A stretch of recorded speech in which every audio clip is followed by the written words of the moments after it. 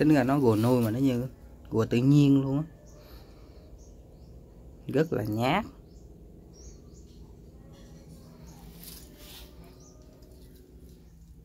Ở đây là chui rút vô cái hốc đó là ngủ suốt như cái ổ luôn.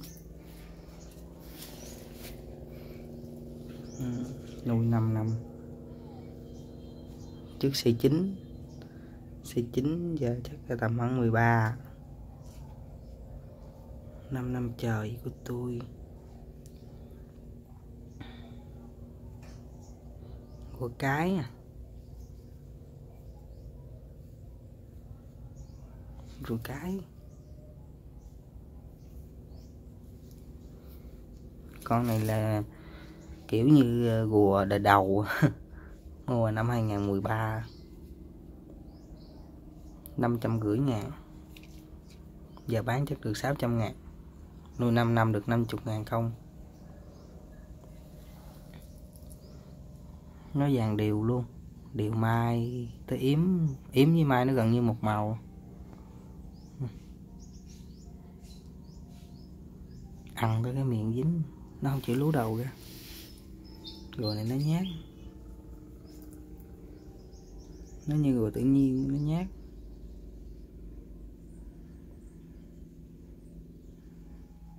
Khó gần lắm. Gần như là không thể nào đụng được cái đuôi nó luôn. Ừ, đầu ra con. Lú đầu ra chào mọi người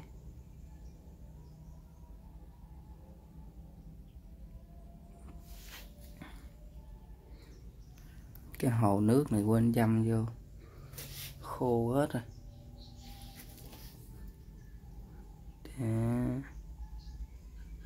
Để cái miệng dính nè đây có sẵn nè rồi muống nè rồi lan nè vượt cỏ, đủ thứ hết. Nói chung là nó ở đây nó đói thì nó tự ăn. Khác thì bò ra đó uống nước. Vậy thôi với tôi nửa tháng tôi mới thăm nó một lần. Ừ.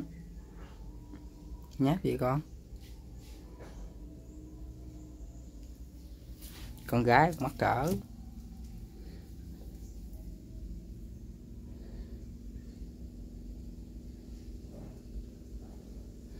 Cái này đó tôi nuôi tầm khoảng 3 năm 3 năm 4 năm nó mới nứt mai à. rất lớn. Rồi tới giờ vẫn không thấy nó nứt nữa.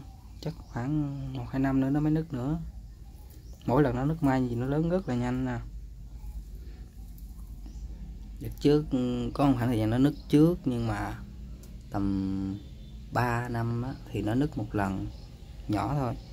Qua năm sau cái năm mà tôi thả chung vô cái chuồng gà thả chung vô cái chuồng gà, cho nó ở với mấy con gà. Bắt đầu là lúc đó là không khí ở trong đó nó ẩm ướt, nó nó là nó chui rút vô phân gà dính đầy người hết. Nhưng mà lúc đó nó lại lớn rất là mạnh. Nứt mài gõ gệt luôn. Ừ, lú đầu lì lắm. Kêu lú đầu không lú.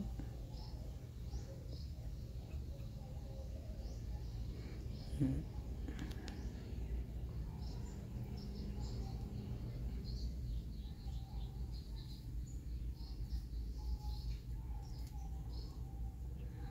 cái là rút đầu vô.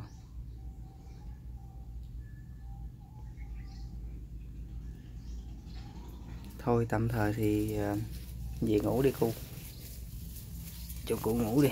Nó nó đào cái lỗ này nó làm y chang như cái tổ chim vậy tôi cũng không hiểu nó đào ý nghĩa gì. Nếu nào kiếm con đực nuôi cho nó nuôi, rồi bỏ cát vô trong đó, mở bên đây, bỏ mớ cát bên đây, coi hai con nó có đẻ không?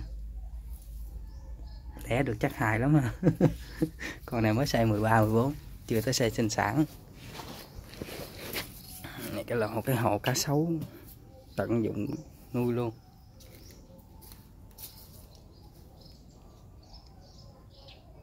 Nắng sáng thì bên đó chiếu qua. Sáng thì nắng bên đây mà có khi nó không phải nắng sáng đâu.